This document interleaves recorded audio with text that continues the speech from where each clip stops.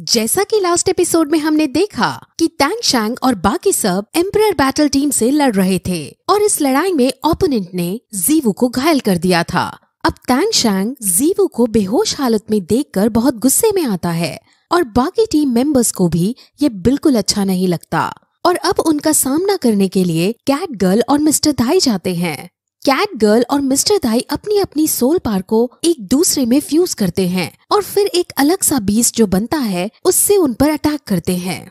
अब एक दूसरे के अंदर सोल पार फ्यूज करने के लिए उन्हें एक दूसरे पर भरोसा होना ज़रूरी था और क्योंकि उनकी सोल पार एक दूसरे से बहुत अच्छे से फ्यूज हो गई है, इसलिए यहाँ से ये कंक्लूड हो जाता है कि मिस्टर दाई और कैट गर्ल एक दूसरे पर ट्रस्ट करते हैं। अब फिर उनका ये अटैक बहुत डैमेज देने वाला था। लेकिन अब भी ओपनिंग टीम का वो लोग कुछ नहीं बिगाड़ पाते और कैट गर्ल खुद इसमें कमज़ोर हो जाती है।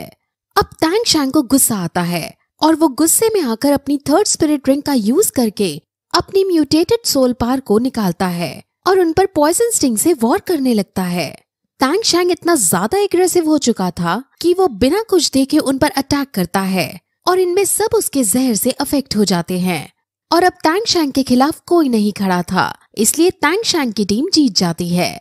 अब तैंग शैंग को उसके टीचर की बात याद आती है कि उसे किसी की जान नहीं लेनी है, इसलिए वो एक एक करके सबका पॉइजन निकालने के लिए रेडी हो जाता है। लेकिन ओपोनेंट टीम में जो वॉरियर है, जिसके पास हीलिंग पावर है, उसे वो जीवू को ठीक करने को कहता है। जिस पर जब जीवू को वो अपनी हीलिंग सोल पार से ठीक कर देता है, तब टैंग शैंग भी सबका पॉइजन निकाल देता है। और फिर वो जीत का हार पहनकर वहाँ से चले जाते हैं।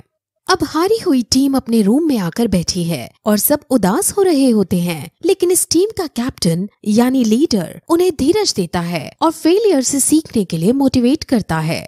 वहीं दूसरी टीम श्रेक स्कूल के बच्चे, वहीं दूसरी टीम श्रेक स्कूल के बच्चे ग्रैंड मास्टर के पास आते हैं और अपनी जीत का बखान करने लगते हैं और बहुत मस्ती मज़ाक करते हैं। अब इन्होंने बहुत ज़्यादा इंटेंस ट्रेनिंग की थी इसलिए मिस्टर जाओ इन सभी बच्चों के लिए कुछ दिनों का रेस्ट माँगता है, जिस पर ग्रैंड मास्टर उन्हें पंद्रह दिन का रेस्ट देने को रेडी हो जाता है और कहता है कि पंद्रह दिन बाद तुम्हारे फ़ेज़ थ्री की ट्रेनिंग स्टार्ट की जाएगी। अब वो बात कर ही रहे होते हैं कि तभी वहाँ ओपोनेंट टीम का कैप्टन आता है और सरप्राइजिंगली वो डीन और मिस्टर जाओ को ग्रीट करता है। अब यहाँ से हमें पता चलता है कि इसका नाम कीमिंग है और ये पहले श्रेक स्कूल का ही एक स्टूडेंट था। डीन उसे फिर ग्रैंड मास्टर से मिलवाते हैं और वो ग्रैंड मास्टर को नमस्ते बोलता है। लेकिन ग्रैंड मास्टर उसको टेढ़े मुँह से देखता है। इससे सभी को अजीब लगता है। लेकिन फिर हमें यहाँ से ये पता चलता है कि ग्रैंड मास्टर असल में इसका चाचा है। ये दोनों एक ही परिवार से हैं। लेकिन ग्रैंड मास्टर की अपने पापा और अपने बड़े भाई से अनबन हो गई है और ग्रैंड मास्टर सारे रिश्ते नाते तोड़कर उनसे दूर भाग आया है। अब फिर की मिंग अपने जूनियर से मिलता है। लेकिन वहाँ उसे पता चलता है कि ये श्रेक स्कूल का लास्ट बैच है, क्योंकि श्रेक स्कूल की फाइनेंशियल दिक्कत अभी भी खत्म नहीं हुई है। सब बहुत ज़्यादा दुखी होते हैं, क्योंकि श्रेक स्कूल है ही इतना अच्छा कि लोग इसे अपना मानने लगते हैं, लेकिन उनका अपना अब ये स्कूल बंद होने वाला है। अब फिर श्रेक स्कूल के बच्चे अपने क्रेडिट्स को लेने के लिए सोल एरिना में जाने लगते हैं। वो फिर क्रेडिट्स लेने जाते हैं। और उन सभी के क्रेडिट्स बहुत अच्छे आते हैं और सब सिल्वर बैच पर पहुँच गए होते हैं। लेकिन शैंग गोल्ड बैच पर पहुँच चुका था, जिस वजह से सब बहुत खुश होते हैं और वहीं दूसरी तरफ़ कीमिंग अपनी घायल टीम के साथ वापस अपने घर जाने लगता है। लेकिन तभी रास्ते में वहाँ ग्रैंड मास्टर आता है, जो अकेले में कीमिंग से मिलना चाहता था।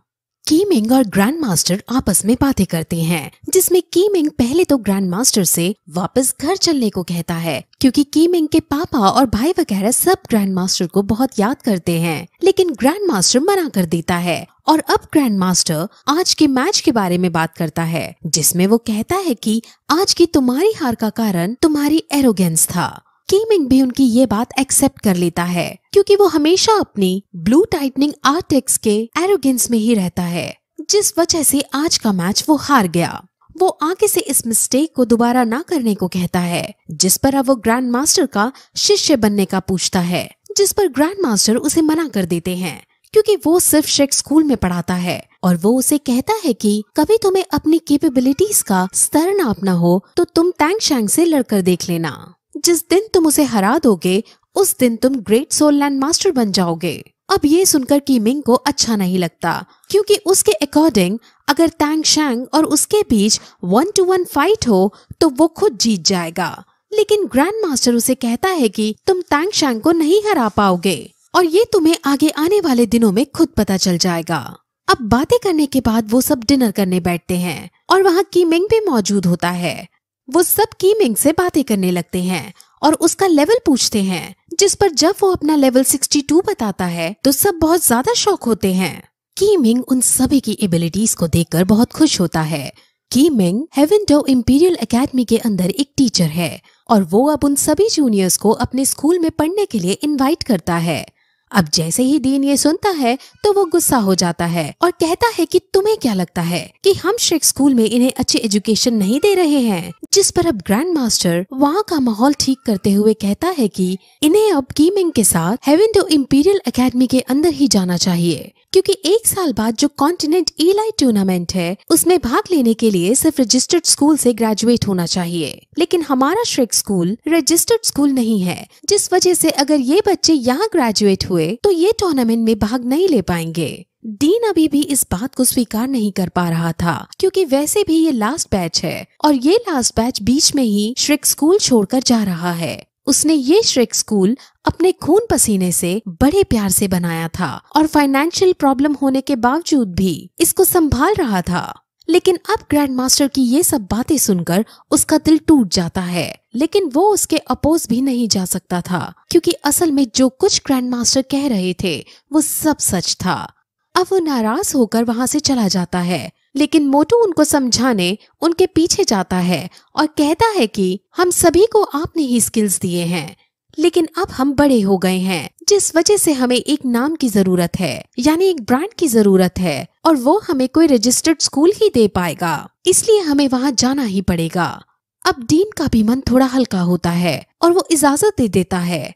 ग्रैंड मास्टर ने असल में एक कंडीशन रखी थी कि उस स्कूल के अंदर श्रेक स्कूल के सारे टीचर इनको पढ़ाएँगे, और वो स्कूल सिर्फ़ अपना नाम और अपनी जगह देगा।